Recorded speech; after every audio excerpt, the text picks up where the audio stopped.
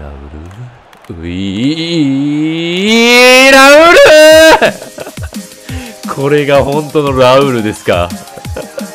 はい、どうも、グレートでございます。ということで、本日は、ラウル選手紹介していきます ちょっとレンタルでね、使用感確かめていこうかなと思います。身長180センチ、腰高い普通、利き足左スキルムーブ4逆足ごとなってます。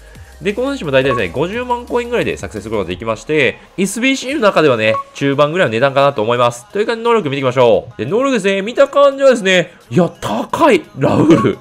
ドリブルが91あって、シュート93。で、ペースもあるっていうのが、あ、いいなと思いました。で、やはり特殊すべきところはですね、攻撃ポジション蹴ってる97、97。ほんで、プラスですね、やっぱりですね、冷静さが93あったりとか、ストライカーの中でね、必要な要素っていうのはかなり持ってる選手かなと思います。で、まあ、ウィークポイントのところなんですけども、ロングパスが80のところだったりとか、あとはフィジカルとか積極性。まあ、ここら辺が低めなので、ここら辺がどうなんだろうっていう感じかな。で、選手特性はアウトガーブ、チームプレイヤー、チップシュート、ドリブスとなっています。で、連携スタイルなんですけども、俺はフォークをつけました。なんかね、シュート力上げた方がいいんじゃねえかなと思うので、こっちをつける方がいいんかな。あとはエンジンかなぐらいかな。という感じで使ったんですけども、スペインアイコンっていうところでかなり組みやすいんじゃねえかなと思ってます。スペインでね、組み合わせるっていうのいいかなと思いますね。で、置き場所なんですけども、まあ、2トップの一角でもいいんですが、俺的にはね、3トップの真ん中でも結構面白いんじゃねえかなと思ってます。ここに置くのはめっちゃ面白いと思う。という感じで早速映像を見ていきましょう。という感じで試合映像を見ていきたいと思います。じゃあね、まずは操作性から見ていきたいと思います。じゃあまず操作性のドリブルからですね。重さは普通で、タッチは細かいドリブルということで、ドリブルに関してはですね、個人的には重さ的にはなんかある程度の重さがあるんじゃねえかなっていう感じ。ただね、タッチはね、こんな感じで細かいんですよ。そこら辺がね、非常にいいかなと思いました。あとはですね、気になったところはやっぱフィジカル面が若干弱いので、こうセンターバックにね、結構押されたら潰されるっていうところはあるのかなっていう感じかな。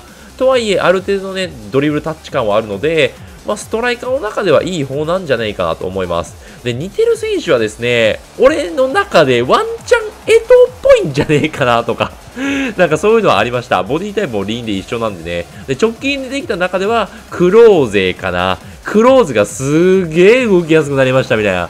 そんな感じは受けるので、そこら辺の選手があいいなって思える人は、この選手めちゃめちゃ合ってるかなと思います。で、ここら辺とかね、自分でドリブル持って最後抜け出してシュート。強かったね、これ。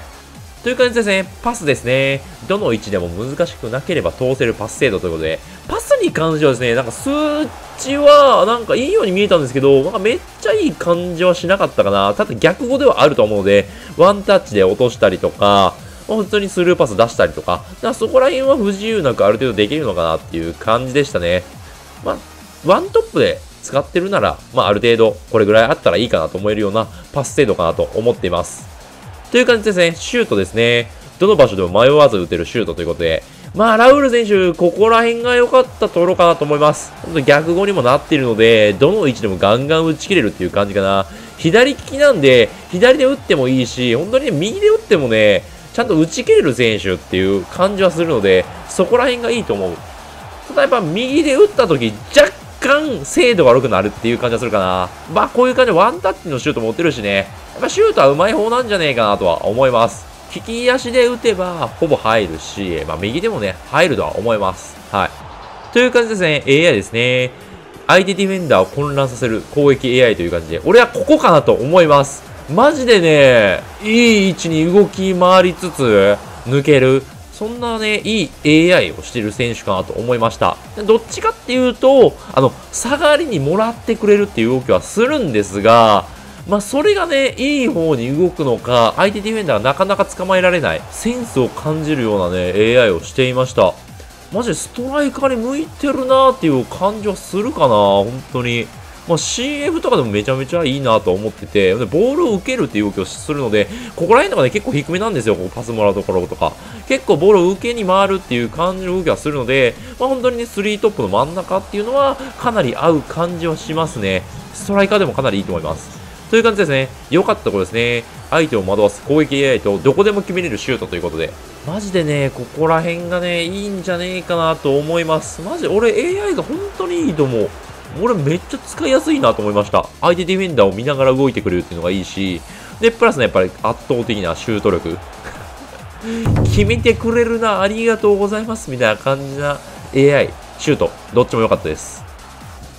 という感じですね。良かったところですね。フィジカルの強さというところで、まあ、ここはね、気になるところではあるかなと思います。無理やりなのやっぱドリブルっていうのは、結構潰される感じはあるので、そこら辺は気をつけた方がいいかなと思いました。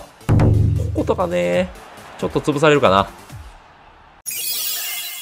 という感じで最終評価ですね。ラウル選手でございますね。使った感じはですね、なんか、エトー感がちょっとありました。んで、まあ、クローゼの上位互換って感じかな。この前出てきた。うーん、よかったよ、俺は。はい。という感じで、この人は向いてる人なんですけども、前線でポストプレイもできる万能型ストライカーを求めてる人ですね。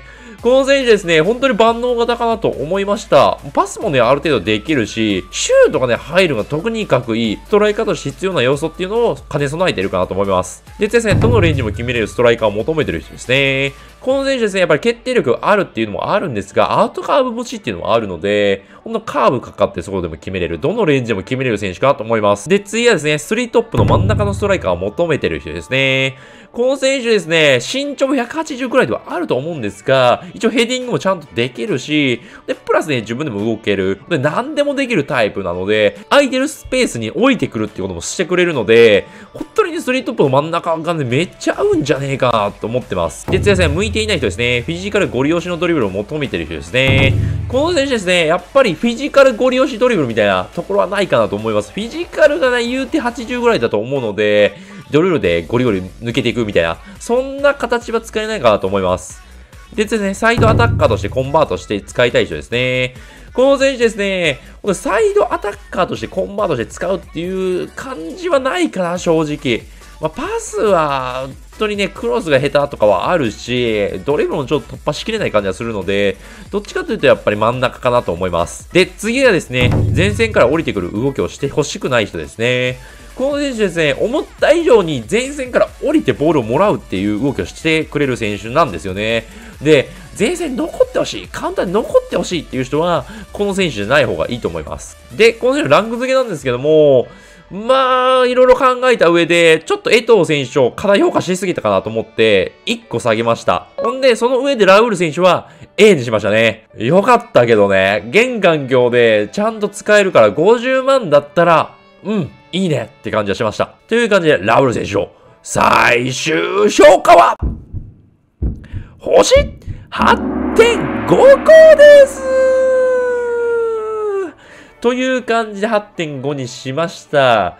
まあね、ドリブルの部分だったりとかってもあるんだけども、まあちゃんと使える選手かな。ストライカーって感じはマジでする。ある程度ドリブルの軽さを兼ね備えてるようなストライカーを求めてるんだったら、この選手ありかなと思います。という感じで、この動画もしよければ高評価、チャンネル登録、ぜひよろしくお願いします。じゃあまた次の動画でお会いしましょう。お疲れ様です。